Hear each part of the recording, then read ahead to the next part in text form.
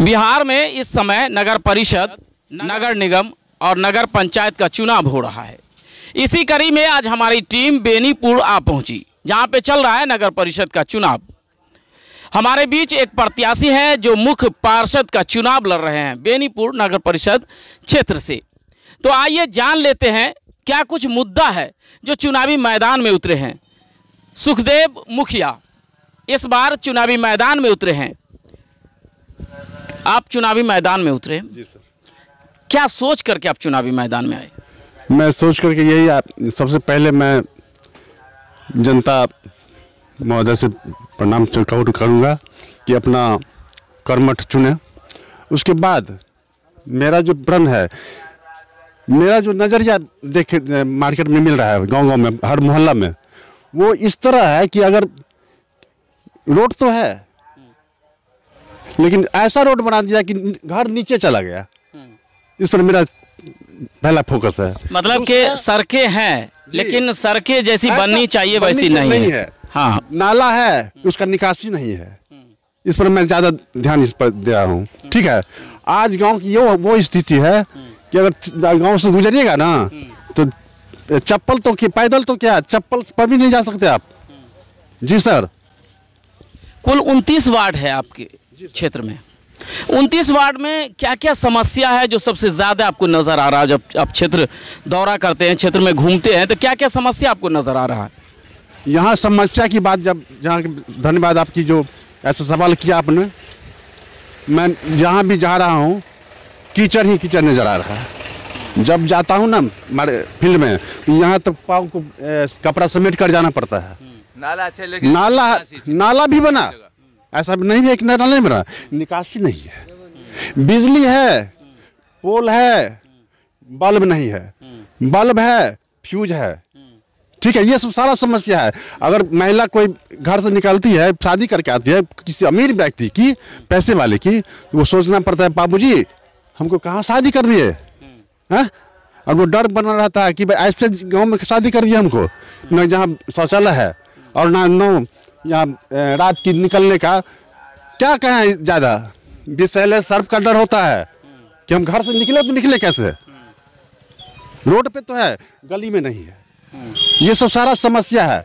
और सबसे पहले मैं अपना जो ध्यान रखा हूँ कि दलित मजदूर जो हैं, उनके बच्चे जो पैसे वाले हैं, वो तो जाते हैं स्टेडियम में, मॉर्निंग वॉक के लिए।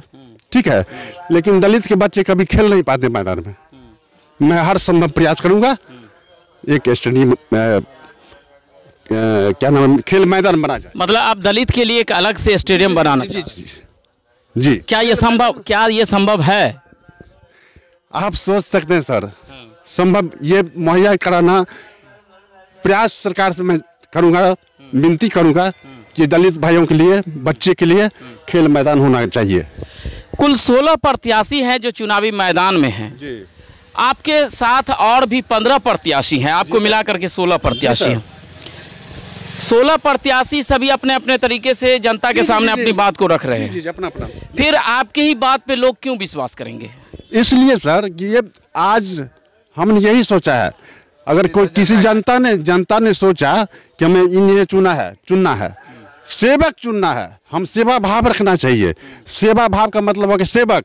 और सेवक बनकर फ़ील्ड में आना चाहिए। और इस सेवक जीतने के बाद आज नहीं।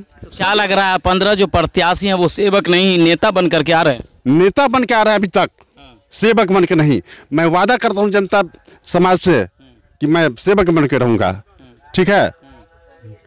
चलिए चुनाव आप जीत जाते हैं। आपको 29 वार्ड की जनता ने मौका दे दिया और आप मुख्य पार्षद बन गए। जी सर। मान लेते हैं।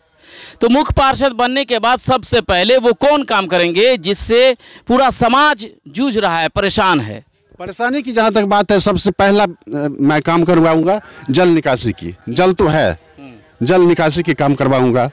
बाद बाकी बहुत सारा इतना फंड है ना सरकारी केंद्र सरकार की फंड हो राज्य सरकार की फंड हो आम जनता तक पहुँचना नामुमकिन है।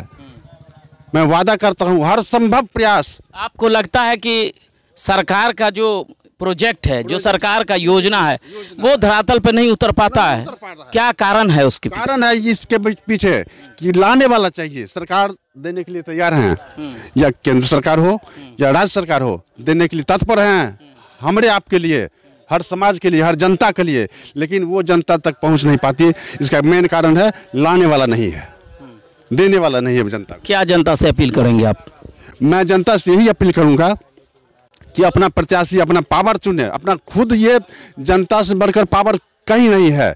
सबसे बड़ी पावर जनता होती है। ठीक है? जनता से यही निवेदन करूँगा कि अपना पावर को समझे और हमारे अगर हो तो कृपा करें। ये थे हमारे बीच सुखदेव मुखिया, जो मुख्य पार्षद का चुनाव बेनीपुर नगर परिषद क्षेत्र से लड़ रहे हैं। वैसे यहाँ 16 प्रत्याशी हैं जो चुनावी मैदान में हैं। अब देखना है कि सुखदेव मुखिया के बात पे यहाँ की जनता 29 वार्ड की जनता कितना विश्वास, कितना भरोसा करती है। वैसे सभी प्रत्याशी अपने अपने तरीके से अपनी बात को रख भी रहे हैं। सुखदेव मुखिया ने कहा है कि सबसे पहले दलितों के लिए प्लेग्राउंड की व्यवस्था कराना मेरी प्रथम प्राथमिकता होगी। उसके बाद इन्होंने कहा है कि सरकार का जो भी प्रोजेक्ट है या ड्रीम प्रोजेक्ट है वो धरातल पे क्यों नहीं उतर पाता है? इसके लिए मैं तत्पर रहूँगा। जनता ने मौका दिया तो मैं इसके लिए पूरा पूरा प्रयास करूँगा। अब देखना यह है कि उनतीसों वार्ड की जनता इनके बात पे कितना विश्वास और कितना भरोसा करती है।